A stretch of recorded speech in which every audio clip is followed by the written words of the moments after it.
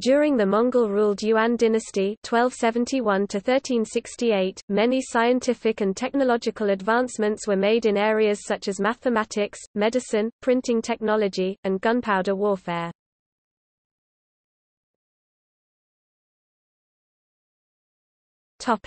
Mathematics Advances in polynomial algebra were made by mathematicians during the Yuan era.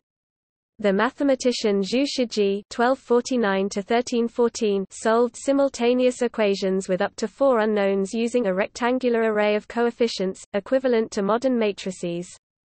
Zhu used a method of elimination to reduce the simultaneous equations to a single equation with only one unknown. His method is described in the Jade Mirror of the Four Unknowns, written in 1303. The opening pages contain a diagram of Pascal's triangle.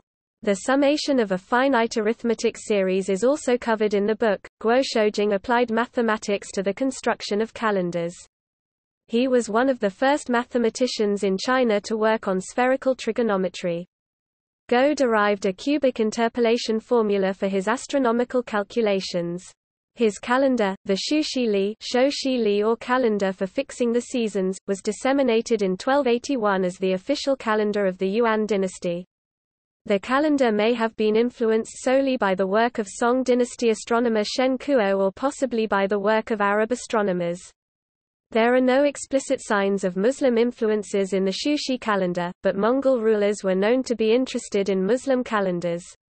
Mathematical knowledge from the Middle East was introduced to China under the Mongols, and Muslim astronomers brought Arabic numerals to China in the 13th century.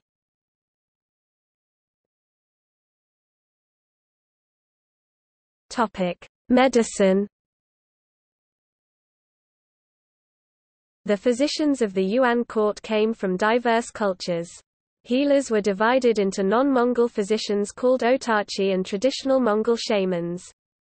The Mongols characterized Otachi doctors by their use of herbal remedies, which was distinguished from the spiritual cures of Mongol shamanism.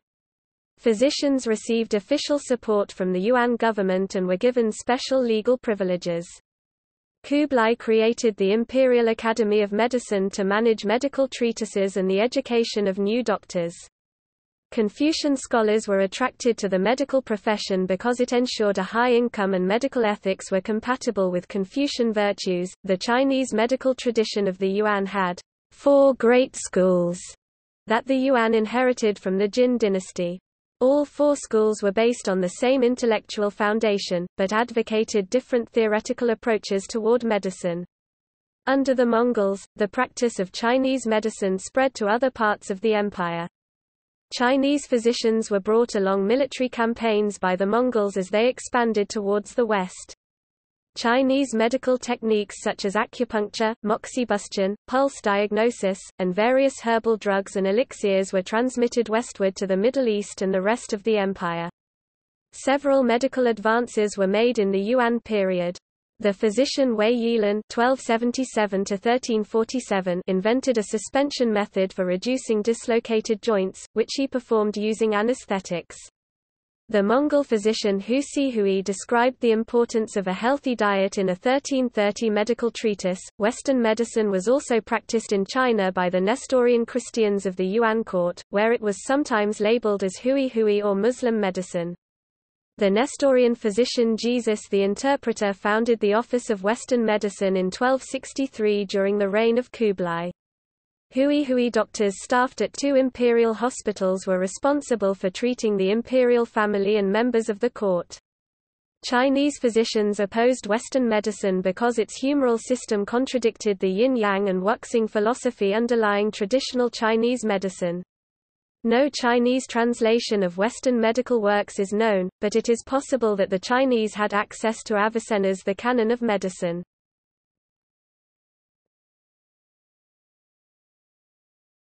Topic: Printing and publishing. The Mongol rulers patronized the Yuan printing industry. Chinese printing technology was transferred to the Mongols through Uyghur and Tibetan intermediaries. Some Yuan documents such as Wang Zhen's Nong Shu were printed with earthenware movable type, a technology invented in the 12th century. However, most published works were still produced through traditional block printing techniques. The publication of a Taoist text inscribed with the name of Töregene Khatun, Ogedei's wife, is one of the first printed works sponsored by the Mongols. In 1273, the Mongols created the Imperial Library Directorate, a government-sponsored printing office. The Yuan government established centers for printing throughout China. Local schools and government agencies were funded to support the publishing of books. Private printing businesses also flourished under the Yuan. They published a diverse range of works, and printed educational, literary, medical, religious, and historical texts. The volume of printed materials was vast. In 1312, 1,000 copies of a Buddhist text commented by Chosgi Odsir were printed just within Beijing. By 1328, annual sales of printed calendars and almanacs reached over 3 million in the Yuan dynasty. One of the more notable applications of printing technology was the chao, the paper money of the Yuan. Chao were made from the bark of mulberry trees. The Yuan government used woodblocks to print paper money, but switched to bronze plates in 1275.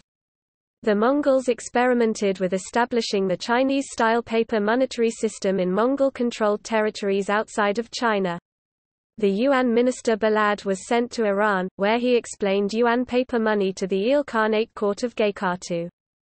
The Il Khanate government issued paper money in 1294, but public distrust of the exotic new currency doomed the experiment. Foreign observers took note of yuan printing technology.